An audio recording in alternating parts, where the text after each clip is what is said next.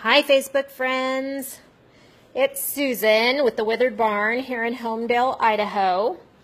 And I was working on a project today, which I probably could give you a sneak peek at, but I'd rather just give you the reveal later. But I wanted to show you how fabulous this amazing casting resin is. I haven't used it a whole lot, to be truthful. I usually use IOD paper clay or creative paper clay, depending on the look I'm going for. Creative paper clay is um, a little smoother and lightweight. Let me show you real quick the texture of it, and that way you can kind of see what, what I'm talking about. This is the creative paper clay. It is definitely softer, smoother clay. Some people may not like to work with it. Um, I enjoy it. I, I like it because I can smooth it out really well when I'm using my molds on pieces. And then let me show you the Iron Orchids Designs paper clay, whoops, what that texture is. It's going to give you a little bit more of a old world and like a true paper clay. And let me show you, it's a little denser and you can actually see the paper fibers in there. So it's more of a true paper clay. This one I use to get the real vintagey look. I love the way that it dries out, the little bit of crackle to it. Um, if I paint it right away, it doesn't crackle as much, but I really enjoy the, the old world plastery look that it gives me. Now, just recently, like I said, I had tried this amazing casting resin. All three of these products are available at the Withered Barn, both in the shop and online. But I want to show you real quick what this does because it's, it's mesmerizing to me. So today I'm going to do this sample of amazing casting resin on Iron Orchids Designs Baroque 6 mold on this trim one right here. Baroque 6 has five separate molds. And this is from their pre-2018 line. But I'm using it on the base of an end table. I'll show you what it looks like applied in a second. But in your box, you're going to get two separate bottles. These are the ones you're going to mix together. What they are, I don't know. But they do react with each other. You're going to get your little mixing cups to measure with. I use a stir stick. It comes with one, but I've already ruined it, of course. So here's the two cups. I'm to get down here real quick so I can measure. So I'm going to put the darker one. Whoops, I guess I stuck the lid on too tight. There we go. The darker one in one cup and I'm to go up to, I think it's the 25 ounce, because, or 0.25. Yeah, 0.25. Because I'm to pour two molds at once. I only need two more to go to finish my project. But you can see how this is yellow. It's almost like an oil looking. There's in. And then this one is the white or clear. And I'm to fill that cup up to the same spot. Now normally I would do this in, let me move these aside so I don't spill anything. Normally I would do this in a paper cup, but I wanted you all to see what it does.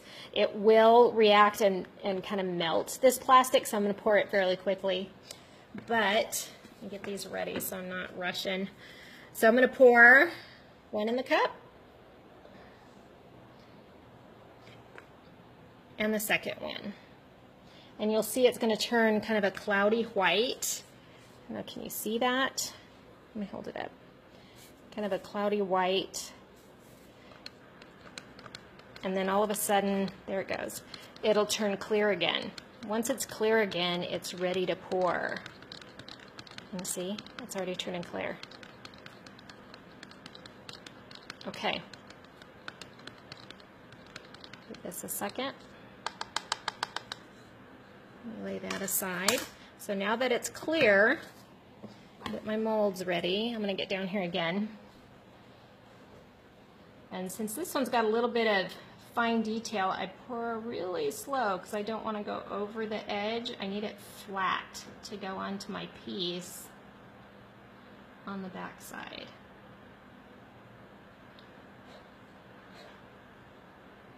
Okay. okay. one more. There we go. Oh, it looks like it's a little bubbly. A little too much. I've got a heavy hand.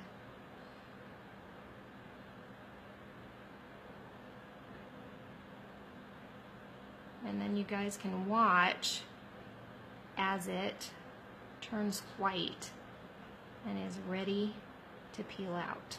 Now this does take a few minutes, but your result is such an amazing detail. Now I'm going to throw this cup away real quick because I don't want it melting through. It's a little warm, but it's not melting. Yeah, so let me leave you here just a second. You guys can watch that. Throw this in the trash. Wipe my hands. Whoops, I left it over here. And I'm sure you guys have heard the expression waiting for paint to dry. This is kind of the same thing. The minute you take your eyes off of it, it starts turning cloudy and white, and that means it's curing, and it'll be ready to go. So in the meantime, real quick, let me just show you a sneak peek oops, at what I'm doing. Just a sneak peek. Ready? Ah, that's enough. I'm using um, Miss Lillian's Lichen Lichen. This actually looks really bright, and it's not. It's not this bright. But um, I'll be embellishing with black gold, precious gems, over this old decal here. So I hope it turns out. We'll see. And then I'll be glazing over the whole top just to tone it down a little bit. But you can see, let me set this back down the molding, the amazing casting resin, is starting to cure right there. So let's just wait a minute and then um, I'll show you how you peel it out. There's no way to make it quicker. It just has to have that right amount of time on there. Let me think. Did I get something new in today? No, I'm waiting for an order uh, some new transfers from Iron Orchids Design. So that's going to be exciting. I've got some colored florals coming in, wildflower, botanicals, some more Redouté, which are the red florals,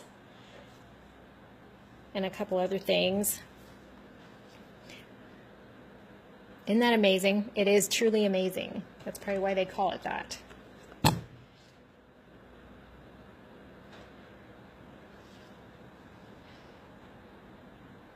Hmm. I love it.